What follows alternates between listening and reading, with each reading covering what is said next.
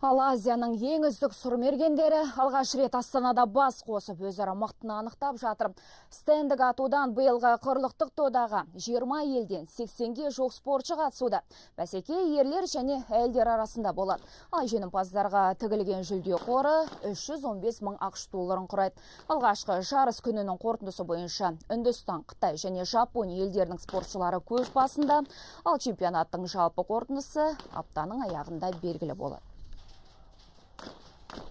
Жарыс жақсы өте жақсы өтіп жатыр. Тек бес сериядан бірінші серияны атып болдық тек. Әлі бүгін екі серия атамыз.